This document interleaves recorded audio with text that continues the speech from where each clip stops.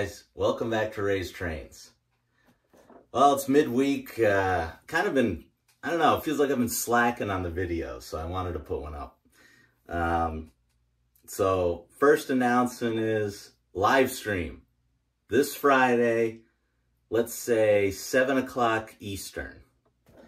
Um, I had so much fun with my friends on our new podcast, Three Rails, Four Dads um, that I wanted to, I want to do one on my channel. I've only done one and it was a while ago. I think it was in the summer and that's, that's no good. So, so Friday at seven Eastern, join me.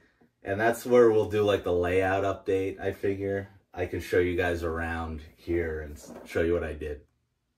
But I will also do a giveaway. I'll do two giveaways. Um, I'm gonna steal. We'll do it how I don't know if you saw Eric's Trains did like a was it New Year's Day I think or New Year's Eve. He did a live stream, and it was it was fun, and it was just chaos in the in the chat. He basically said a question, and first person who typed it in the chat won it, and I liked the chaos of that. So we'll do it that way, and I'll get I'll do two of them uh, I got two overstamped box cars that I'll show you. This Reading and Conrail one, we'll give that away.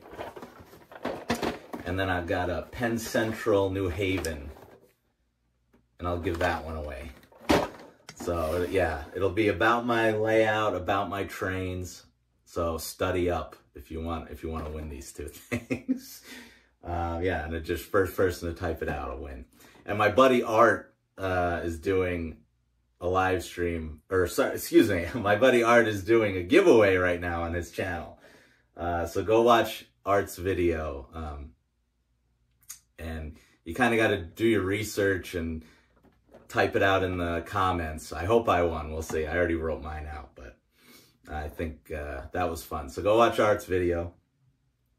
And uh, yeah, so Friday at 7 Eastern, join me and we'll have fun.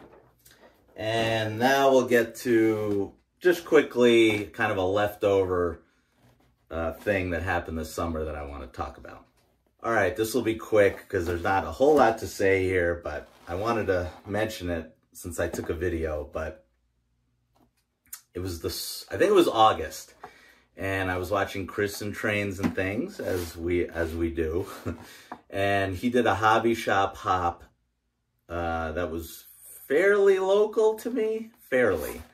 And it was English's Model Railroad Supply. And I never even heard of it.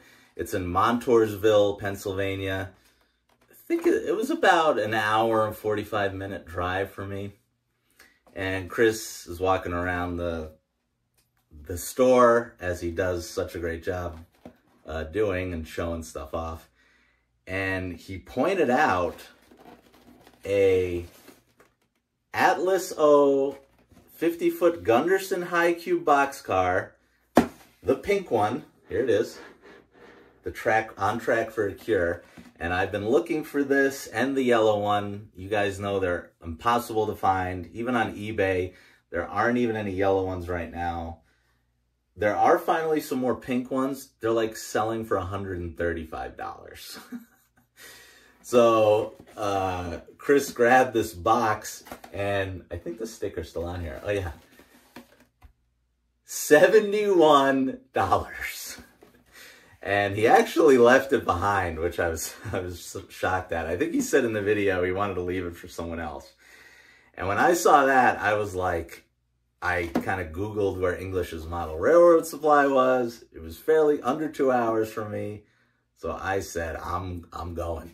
And then my buddy Dell also, he saw the video too and he went and I had texted him about it and he's like, I, I already went. He goes, and he's like, yeah, the boxcar was still there. He's like, if you had, if we had talked earlier, I would have just got it for you. So that was funny. So, uh, of course, the next day I went and thankfully it was still there and I paid the low, low price of $71, which is you'll never see these for that uh, ever again.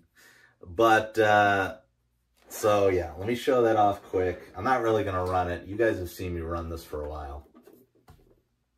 Uh, I won't get even close-ups of it, but the usual amazing Atlas rolling stock when all the pieces are hanging on correctly. but it looks awesome. Heavy, good detail underneath as usual. Love these. So yeah, I'm I pre-ordered more of these from Train World um, because they're so awesome. some yellow ones and some different ones. But what I wanted to say was this is the saddest part of the whole story. Unfortunately, um, literally, it, it was like two days or three days after I went, my wife texted me. I don't know if she saw it. Someone gave her an article at her work. And she's like, wait, isn't, weren't you just here? And it said, English's model railroad supply is closing. closing after, I think it said they were in business for 77 years. And they were at that location that I went to for like 50, 57 years. I think those, that, those numbers are right. So how, how horrible is that? Literally two days after I went, they closed, which is sad. Anytime we don't want any stores in our hobby closing. I'm sure we all agree with that, but I was like unbelievable that I went. Obviously, I didn't save them with my one boxcar purchase, but so I can't even tell you to go there because they're closed. But yeah, I don't know if you guys have heard of Englishes before, tell me in the comments if you'd ever been there. They were super nice to me. Prices were awesome. And I even saw uh, someone in there who recognized me, which was crazy. so yeah, like I said, I'm not going to run it. You guys have seen this before, but oh, I will put in footage at the end of this video of me just walking around. I think I took like a minute video of me in there. So I'll put it at the end uh, so you guys can see that. But yeah, that's going to do it. Uh, remember to comment, like, and subscribe. And join me at 7 o'clock Eastern uh, on Friday, and we'll do we'll do a live stream and a giveaway and have, have kind of a hangout. So, all right, thanks, guys. See you later.